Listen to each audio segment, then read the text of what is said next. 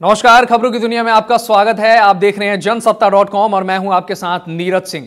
केंद्रीय सूचना आयोग ने प्रधानमंत्री कार्यालय को पीएम नरेंद्र मोदी की विदेश यात्रा में सरकारी खर्च पर उनके साथ जाने वाले लोगों की सूची देने को कहा है।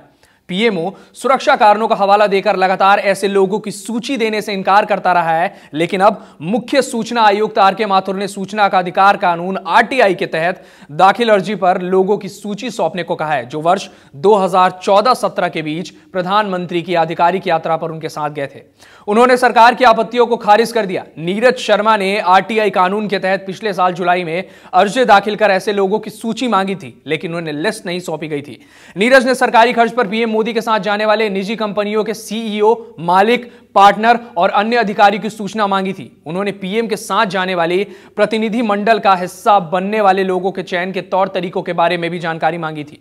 नीरज ने जुलाई 2017 में आरटीआई कानून के तहत आवेदन कर जानकारी मांगी थी, लेकिन पीएमओ उसे बार बार इनकार करता रहा, जिसके बाद मुख्य सूचना आयुक्त आर के माथुर ने नीरज शर्मा की अर्जी स्वीकार करते हुए पीएमओ को सूचना मुहैया कराने का आदेश दिया है। पीएमओ के रवैये से नीरज शर्मा ने कहा कि डॉक्टर मनमोहन सिंह की सरकार मोदी सरकार से ज़्यादा पारदर्शी थी। फ़िलहाल के लिए इतना ही। और खबरों के लिए देखते रहिए जनसत्ता डॉट कॉम।